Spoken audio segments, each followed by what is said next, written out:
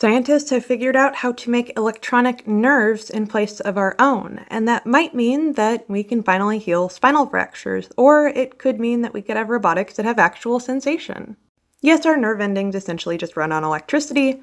They may have some insulation and some cellular components that are self healing, but they are mechanical in nature.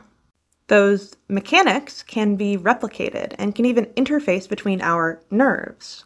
The proof of principle, being able to use mechanical components to interface with biological components, has been demonstrated in mice models, and I will be kind and not show you pictures. If you would like to see those pictures, I do encourage you to check out the paper.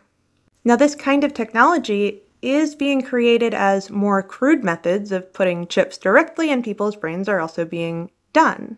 This should be a chilling image. In theory, putting mechanics in people's brains that allows them to use technology hands free could help people who don't have other options for movement, especially when it's not just paralysis, but paralysis that has been caused by something that has deteriorated neurons throughout the body.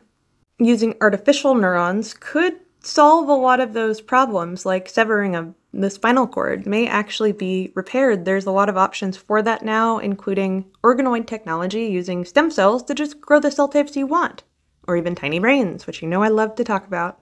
Now, what does excite me about this, along with a lot of other emerging technology, and technology that has been used and worked, is that we're figuring out how to get complex information through mechanics.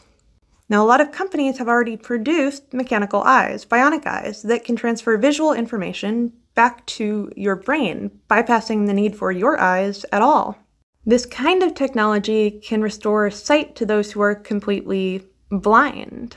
Unfortunately, some of the first people to receive bionic eyes ended up in a situation where the company that operated them went bankrupt and they watched their vision slowly deteriorate as technology became obsolete.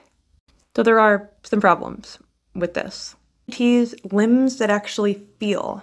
This kind of technology could actually cure paralysis, and it's one of many options on the table for that. But we have also put tiny human brains in charge of robots. There's also been quite a bit of evidence that we can create artificial brain organoids and code them into AI. They're called neural reservoirs, and they match human learning pretty well. But what if we gave them real sensation to learn from? You being put in a body without real sensation wouldn't be very good for your brain development.